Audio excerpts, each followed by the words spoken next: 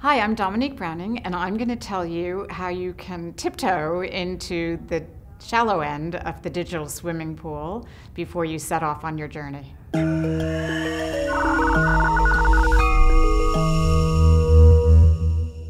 Advice to anybody who feels timid about getting online is then to treat it as a swimming pool with a shallow end. Go in slowly if that's what you need to do. If you try to do everything at once, it can be overwhelming because there's such an amazing array of social media tools now.